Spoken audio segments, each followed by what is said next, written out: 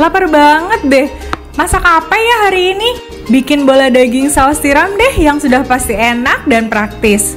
Pertama, siapkan daging giling lalu campur dengan telur.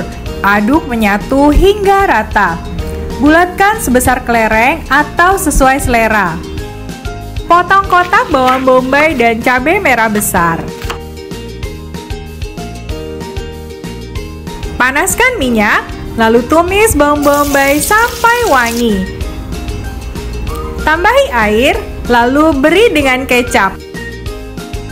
Nah, aku tambahkan saus tiram selera dari dapur Kobe yang terbuat dari tiram asli, yang bikin masakan tambah enak dengan rasa gurih alami.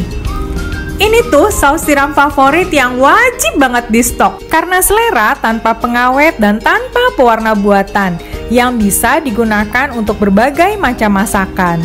Masak pakai saus tiram selera pastinya bikin selera tambah istimewa.